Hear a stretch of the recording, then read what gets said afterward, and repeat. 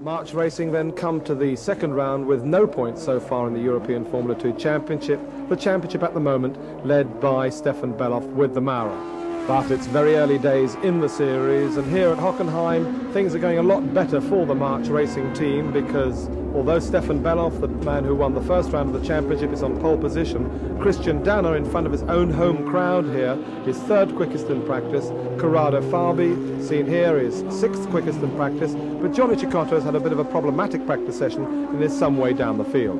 There's Peter McIntosh, the man who's the team manager of the March Racing team this year.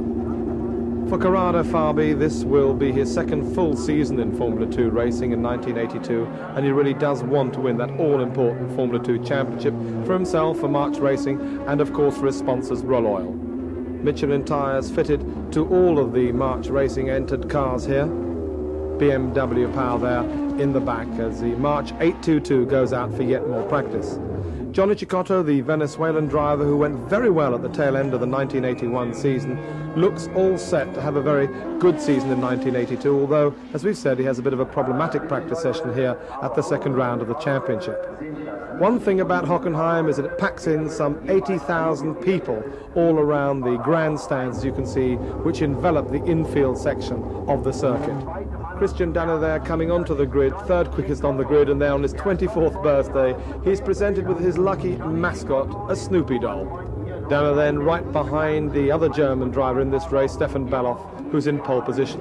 For Corrado Fabi, an important race here, here at Hockenheim because he wants to open his points tally, obviously to gain those valuable championship points for what is considered to be the most coveted series outside Formula One Grand Prix racing. Straight into the lead, Thierry Boutsen from the German driver Bellof, Johansson in third place, and uh, that's Palmer in fourth place. Fifth is Cecotto, sixth then is Corrado Fabi. Where is Christian Danner? Danner had a coming together on the first lap with Bellof and has gone off and crashed on the far side of the circuit, so unfortunately Christian Danner out of the race a big BMW versus Honda battle here at the front as through into the lead goes Stefan Bellof with the Works Maurer and he is to go on to win his second consecutive race after of course he won the first race at Silverstone. Corrado Fabi there fighting his way up from sixth place on the grid telling there Stefan Johansson behind uh, him there is Beppe Gabbiani with his second German Maurer Johnny Cecotto now in sixth place and Corrado Fabi destined to finish in third place and get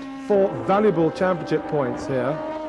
There's Johnny Cecotto in number four, Beppe Gabbiani there with the second German Maurer chasing Cecotto.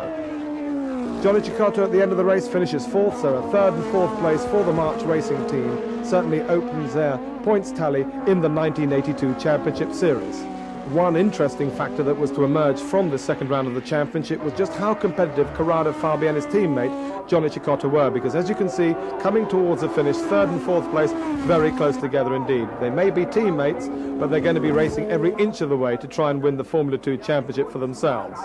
So Bellof goes on to win. Third is Corrado Fabi and right behind him in fourth place Johnny Cecotto and so for the first time on the winner's podium in 1982 this man here Corrado Fabi joining the winner, Stefan Bellof, man in second place, Thierry Boutsen, with the Spirit Honda.